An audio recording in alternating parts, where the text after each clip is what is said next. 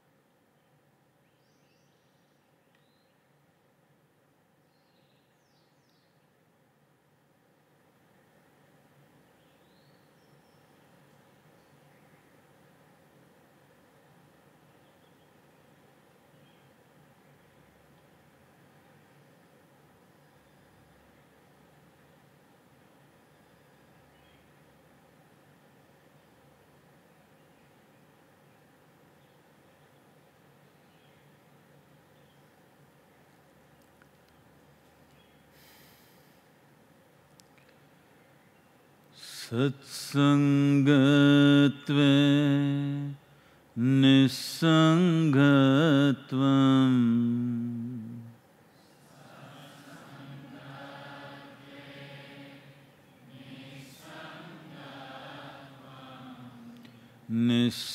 නිසංගත්වේ නිර්මෝහත්වම්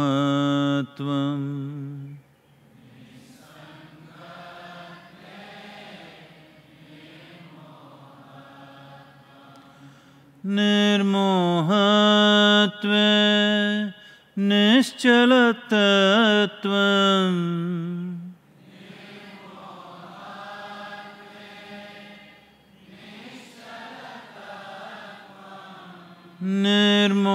निर्मोहत्वे निश्चलतत्वम्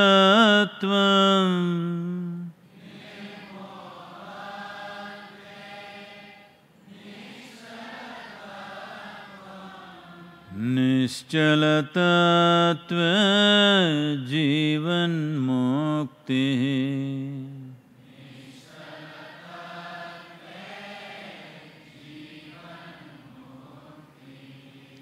निश्चल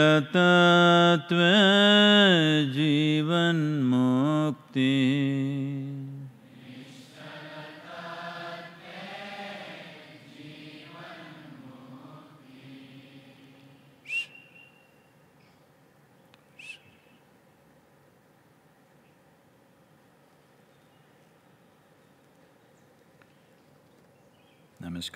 Namaskaram. A todos.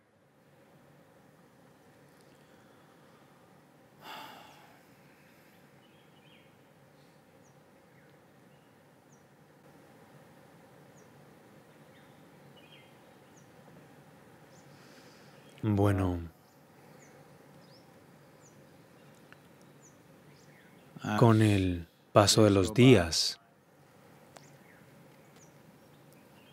el número de muertos por el virus está aumentando.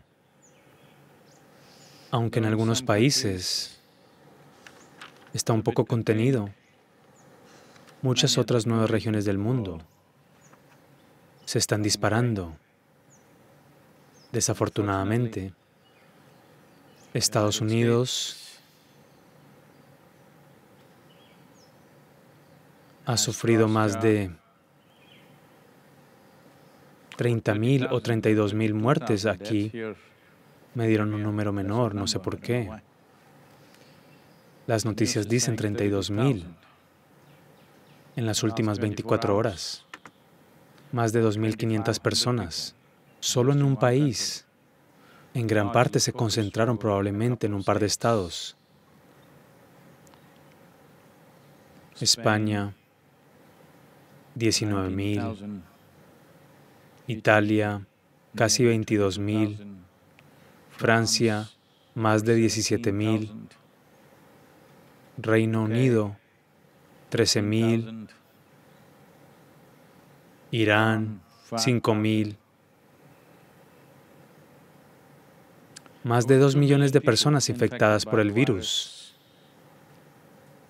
137.000 personas muertas en el mundo.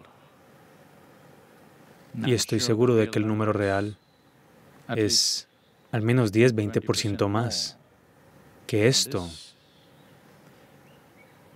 Bueno, la gente que tiene otras condiciones, como condiciones cardíacas, los que toman inmunobloqueadores y otras personas, um, los primeros síntomas del virus pueden morir, pero eso no está siendo atribuido al virus, sino atribuido a sus otras dolencias que ya padecían.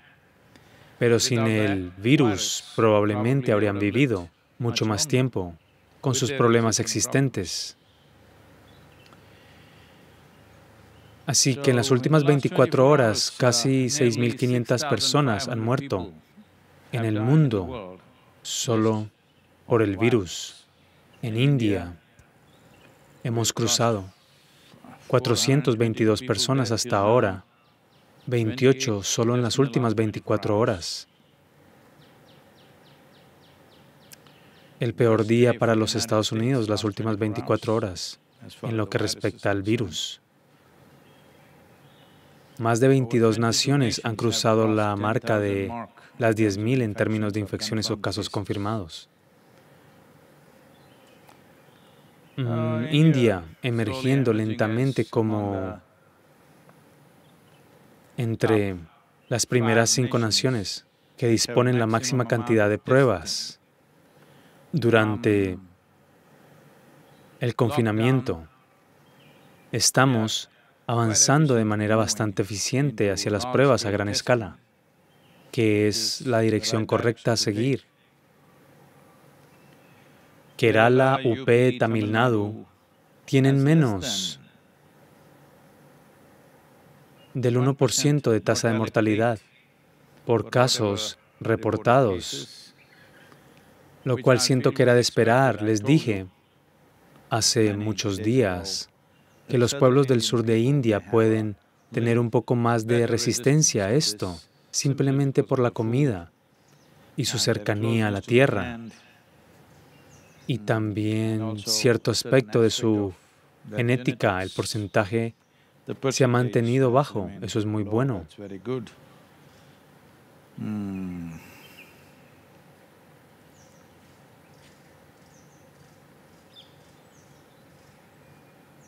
En Tamil Nadu el confinamiento es muy efectivo. 170 focos de infección han sido reconocidos y confinados.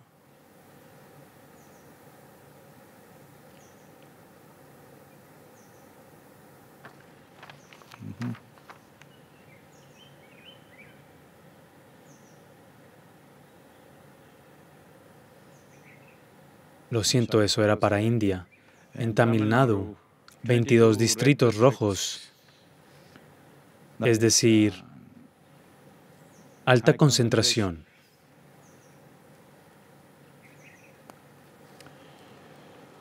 Bueno, lentamente, más y más datos sobre la resistencia. Resistencia del virus está llegando. Ahora dicen, no es necesariamente por la distancia física, que salta de una persona a otra. Puede ocurrir a través de los sistemas de aire acondicionado. Así que el transporte aéreo e incluso hasta cierto punto el viaje en tren será un desafío porque sin aire acondicionado no puedes hacer funcionar estos transportes. Los hospitales que tienen aire acondicionado podrían estar distribuyendo muy eficientemente el virus a todo el mundo. Bueno, nada está realmente confirmado, pero nada está en un estado en el que podemos negarlo. Tiempos desafiantes, sin duda. La economía en todo el mundo se ve bastante sombría en muchos lugares. Si volvemos a la actividad económica, al menos a mediados de mayo o junio, Tal vez dentro de seis a nueve meses deberíamos estar apenas avanzando, no al nivel de bienestar económico que conocíamos, pero razonablemente bien. Pero si se necesita mucho más tiempo para que la agricultura, la industria y los negocios vuelvan a funcionar, entonces estamos esperando tiempos difíciles por lo menos durante 24 meses, de 18 a 24 meses probablemente. Muchas naciones serán capaces de salir de ello durante un largo periodo de tiempo, es un gran interrogante. En lo que respecta a India, en los últimos 20 años, hemos sacado de la pobreza más de 240 millones de personas. Así que este virus y los confinamientos y la degradación de la economía podrían empujar a estas personas directamente debajo del umbral de la pobreza otra vez. Lo que es muy lamentable porque tomó décadas de esfuerzo para sacarlos de la pobreza y otra vez de vuelta. Esto no va a ser bueno para la educación, para los estratos más bajos, los estratos económicos en cualquier sociedad, particularmente en un país como India. ¿Será malo para las mujeres? Cuando la economía va mal, incluso dentro de la familia, quien es más vulnerable recibe la máxima paliza, por desgracia. Bueno, ha costado un gran esfuerzo poner a la niña en la escuela en este país. Hoy en día, un porcentaje muy alto de niñas, muy alto, probablemente mayor que el de la mayoría de las naciones, incluso en la India rural, están en las escuelas. Bueno, esto podría deshacer mucho de ese trabajo. ¿Hasta qué punto nadie sabe, pero definitivamente deshará eso? Muchas cosas que necesitan ser construidas de nuevo, poniéndonos de vuelta por no sé cuánto tiempo. Los desafíos están ahí. Espero que como seres humanos nos volvamos mucho más resistentes que el virus y nos recuperemos con vigor, nos recuperemos con gran entusiasmo y fuerza, porque somos uh, el número uno en la escala evolutiva de las cosas en este planeta. Este es el momento de demostrarlo. Con cuánta conciencia, con cuánta inteligencia y resistencia podemos reaccionar. Creo que esta es una prueba para lo que somos en muchos sentidos. Es una especie de situación de guerra, pero nadie nos está disparando. Esa es la gracia. Al menos nadie está bombardeando nuestras casas, nadie nos está sacando con fuego de donde vivimos. Si somos conscientes y cuidadosos, vivimos. Si somos un poco arrogantes, hay un precio que pagar.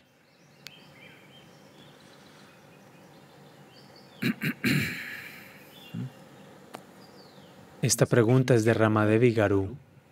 Namaskaram, Sadhguru. Has mencionado muchas veces en tus charlas sobre la ciencia de crear dioses. Realmente encontré esas palabras muy fascinantes, pero nunca entendí lo que quieres decir con esto. ¿Puedes explicarlo con más detalle? Rama Devi Garu.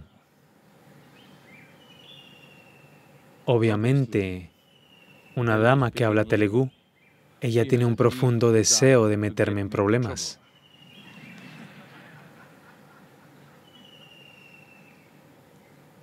Porque Dios es un material explosivo.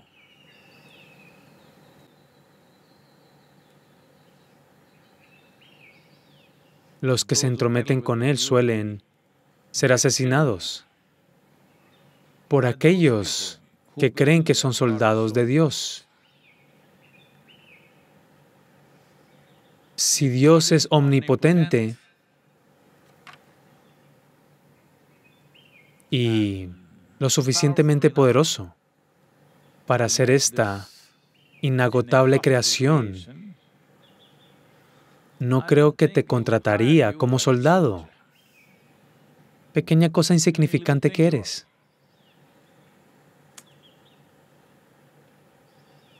Bueno, puedes causar daño a otro ser humano o por supuesto a otros animales, plantas, árboles.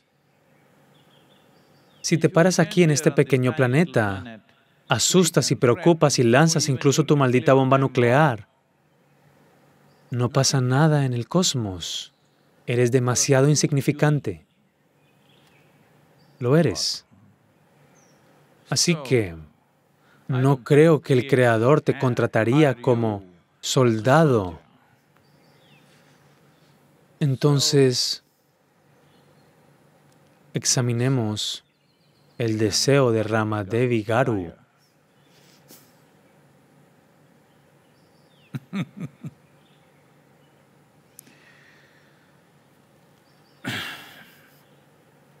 Por favor, tengan el valor de ver esto de una manera muy fundamental. Digamos, antes de que los seres humanos surgieran en este planeta, bueno, un montón de personas estúpidas creen.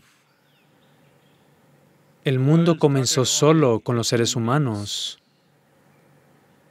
Bueno, hoy en día hasta un niño que va a la escuela sabe que este no es el caso. El mundo, las criaturas, las plantas, los árboles y las cucarachas estaban aquí mucho más antes que tú, mil millones de años antes que tú. Entonces, cuando no había seres humanos,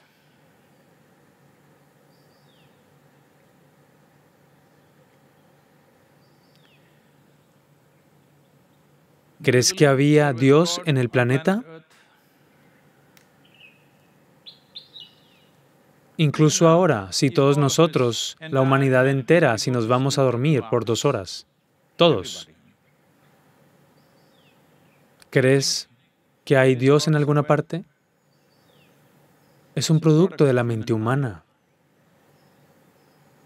Dios como lo conocemos, estoy diciendo. Obviamente tú y yo no creamos este cosmos, eso lo sabemos. Pero esta idea, hay un gran hombre sentado ahí arriba y haciendo todo esto, es um, producto de una mente infantil. Es un nombre, quiero que las damas lo recuerden. Rama de Vigaru. Quiero que recuerdes, es un hombre.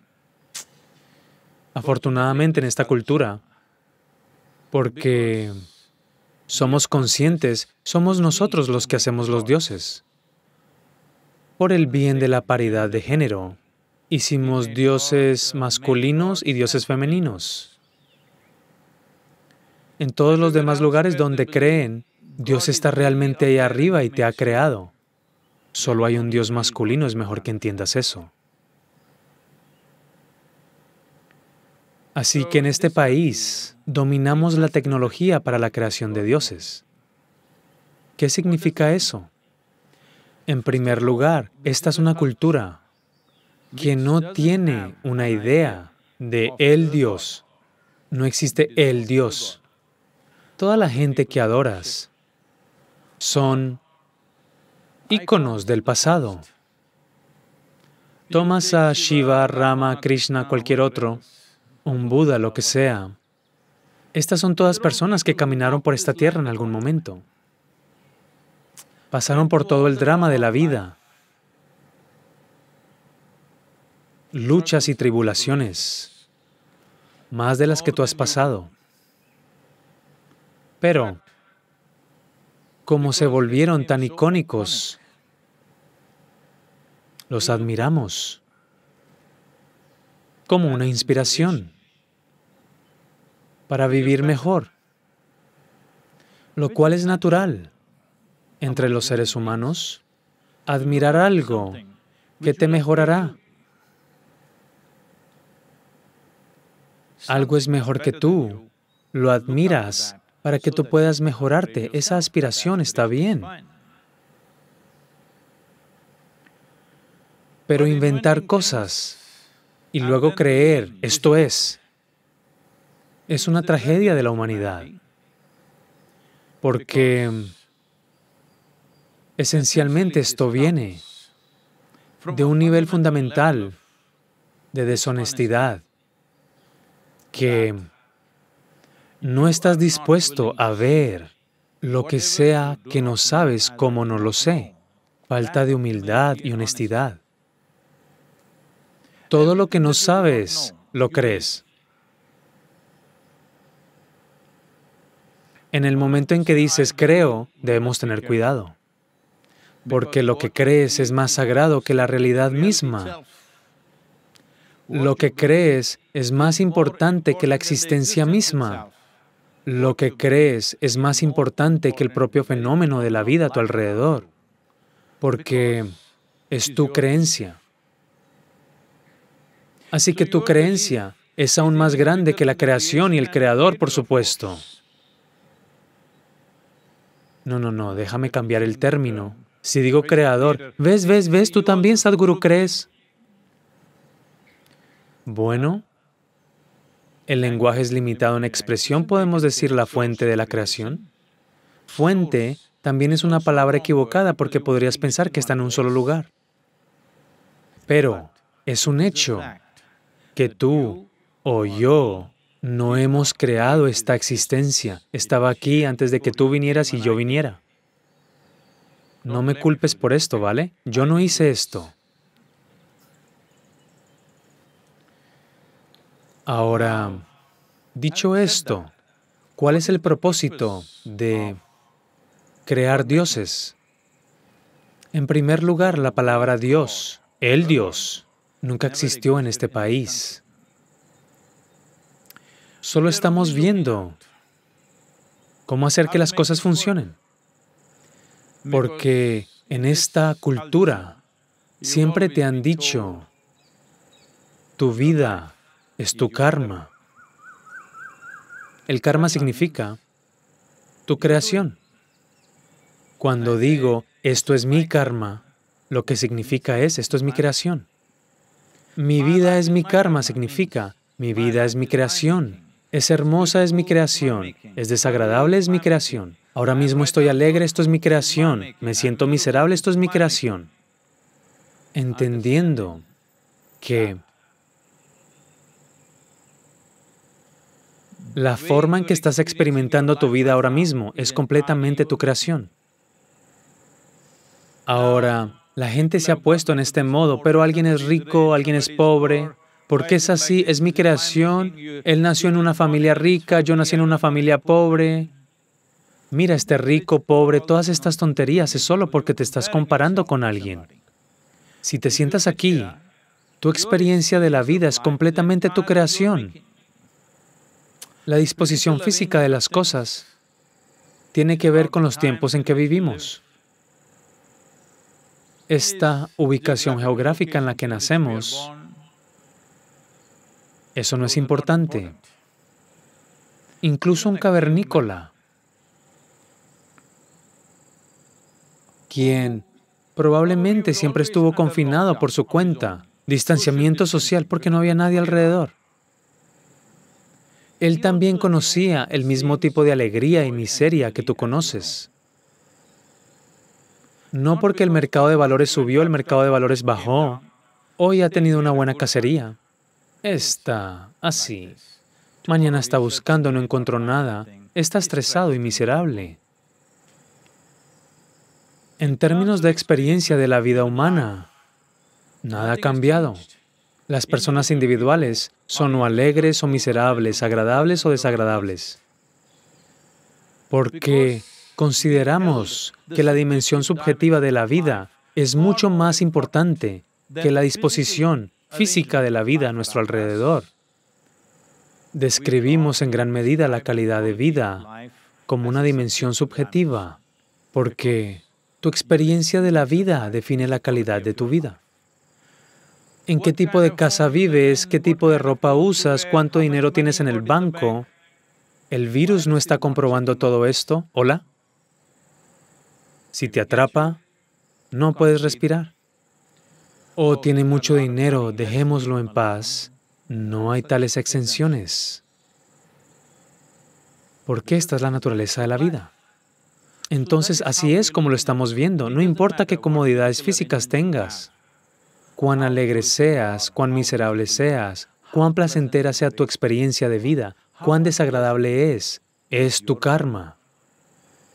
Entonces, sabiendo esto, comenzamos a diseñar herramientas con las que podemos mejorar nuestra experiencia de la vida, porque entendimos que Este cuerpo en sí mismo es un mecanismo.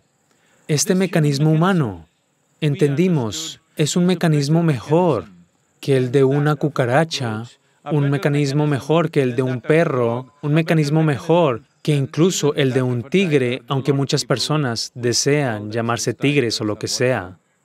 Es un retroceso evolutivo.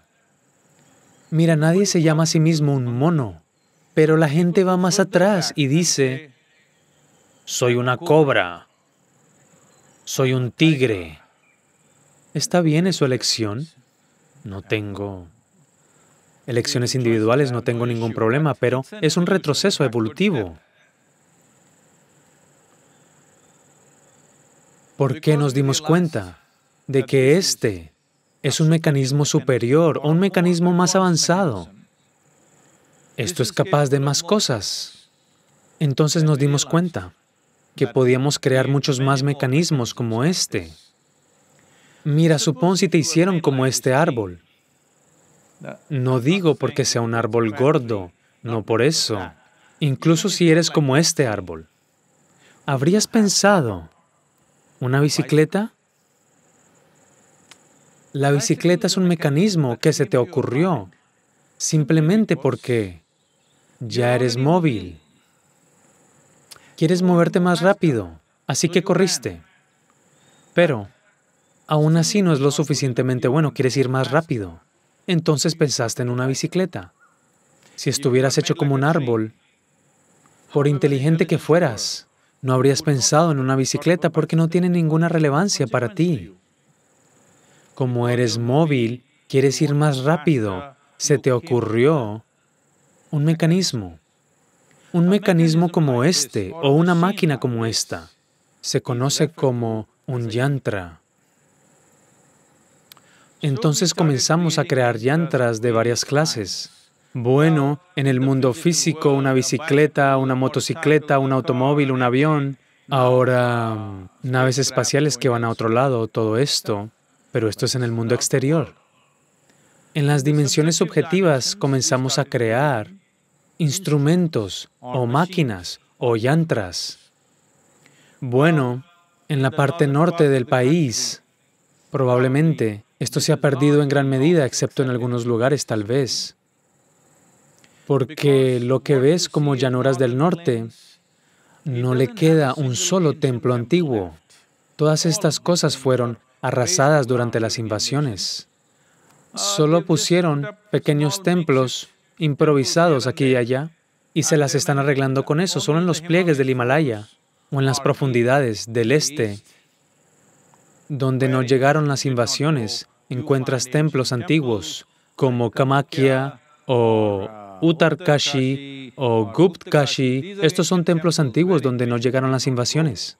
Pero el resto de la llanura del Ganges, Punjab, Kuraya, todos estos lugares, totalmente aniquilados. Solo en el sur de India realmente ves templos antiguos y en el este como en Puri y otros pocos lugares. Donde quiera que haya templos antiguos aún vivos, verás en este país, nos referimos a la deidad U. Hoy en día, debido al idioma inglés, comenzamos a llamarla el Dios como un yantra. Este uso de esta palabra todavía prevalece bastante en el sur de India. Nos referimos a la deidad como yantra. Eso significa, estamos llamando a la deidad como una máquina. La estamos llamando una máquina. Porque una máquina es solo una disposición compleja de formas. Una forma es un yantra. La forma básica siempre fue vista como un triángulo. A partir de eso creamos muchas formas complejas y las hicimos funcionar para nuestro beneficio. Bueno, hay muchas, muchas dimensiones en esto, difíciles de explorar con el reloj corriendo. Pero para ponerlo en el contexto correcto, estas son dimensiones con las que puedes abrir una nueva posibilidad, una nueva ventana a la creación.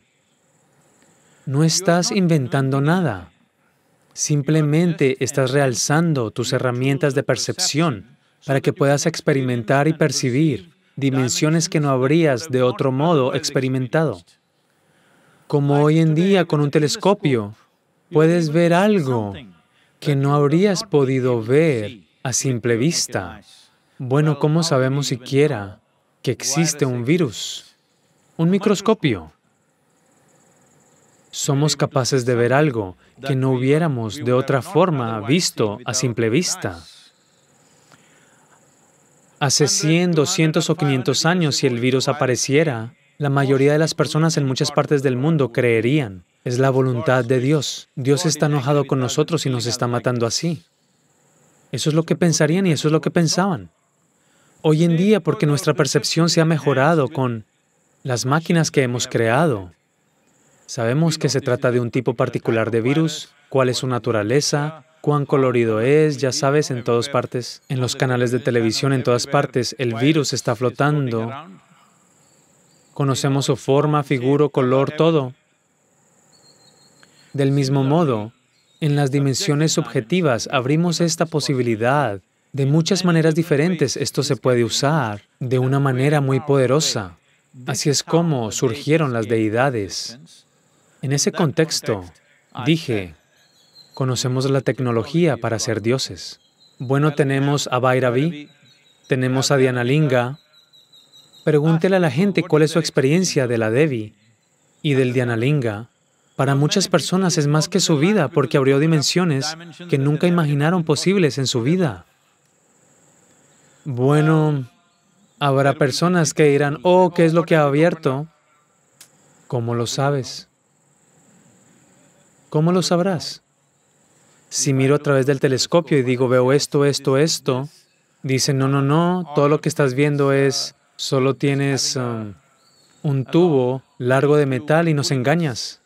Hasta que pongas tu ojo en eso, no lo sabes. Entonces aquí, no es tu ojo, tienes que poner tu corazón en eso. De lo contrario, no lo sabes. Bueno, de todos modos, porque esto necesita mm, cualquier cosa que ves, cualquier cosa que descubres, hoy necesita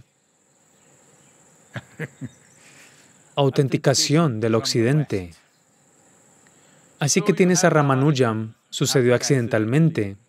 Ramanujam, ya sabes, derramaba matemáticas, la gente no podía creer de dónde viene esto, porque lo que dijo hace más de un siglo, la gente todavía está tratando de descifrar y comprender.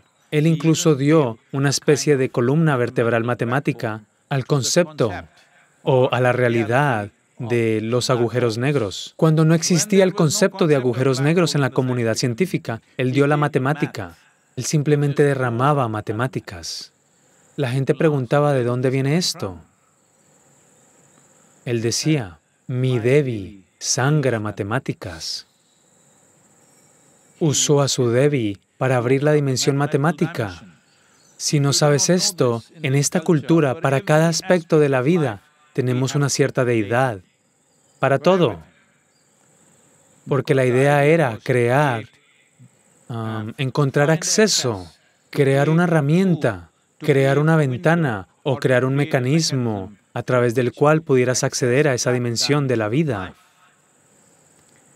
Entonces esta es una cultura en la que creíamos en solo una cosa, el ingenio humano, para crear muchas posibilidades. No hay nada de mirar arriba y decir, querido Dios, sálvame, protégeme. Esto es un hecho reciente porque todos los demás andan afirmando, nuestro Dios nos está cuidando. Sabes, también tuvimos que inventar algo. De lo contrario, siempre te decían, este es tu karma. O haces esto maravilloso o haces esto miserable. Tú decides. No hay nadie más interviniendo en esto. Es tu karma. Nadie, ni tu padre, ni tu madre, ni tu Dios, ni tus ángeles, nadie puede hacerte nada. Puedes usar todo para tu bienestar, para crear bienestar, pero esencialmente es tu karma. Tus padres son un ingrediente, tus hijos pueden ser otro ingrediente, tu cónyuge puede ser otro ingrediente, tu templo, tu oración, tu mantra, tu yoga, son diferentes ingredientes de la vida. Puedes usarlos para hacer de esto un pedazo de vida maravillosa, o puedes usarlos para convertirla en un pedazo de vida miserable. Entonces, basado en esto, está la ciencia de hacer dioses, la tecnología para hacer dioses. Pero, pero hoy en día, debido a los niveles tontos de lógica, cuando digo niveles tontos de lógica, el nivel de lógica rudimentario de guardería se está extendiendo a todo. Esto no lo está haciendo la comunidad científica. Esto lo están haciendo un montón de idiotas que se creen científicos. Todo lo que han leído es probablemente un libro de texto de secundaria sobre ciencias. Más allá de eso no han visto nada. Pero negarán todo porque tienen ese sentido de lógica tan crudo. Con toda tu lógica, todavía no sabes de qué estás hecho, cuál es la naturaleza de tu existencia, de qué estás hablando, porque ves todo, oyes todo, hueles, saboreas todo, solo de la manera como está hecho este mecanismo. Los loros no están viendo el mundo de la misma manera que tú lo ves. Los perros no están viendo el mundo como tú lo ves. Ni siquiera lo están escuchando como tú lo escuchas. Aquí mismo hay tantas criaturas que experimentan el mundo de manera totalmente diferente. Entonces, en este momento, todo tu... No estoy hablando de la comunidad científica, sino de los científicos simplistas que inundan las redes sociales. No entienden su idea de la ciencia se basa en la idea fundamental que todo es humanocéntrico. Esta creación no es humanocéntrica. Tanto estos ah, científicos de WhatsApp como la religión, la gente religiosa, creen que la creación es humanocéntrica. No es humanocéntrica. Si todo este sistema solar se evapora mañana, todo seguirá bien en esta creación. Así que no hagas tanto escándalo por el virus. Solo mantente vivo, mantente saludable, mantente vivo.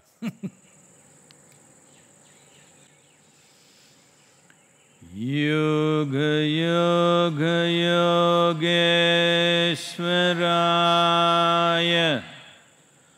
भूत भूत भूतेश्वराय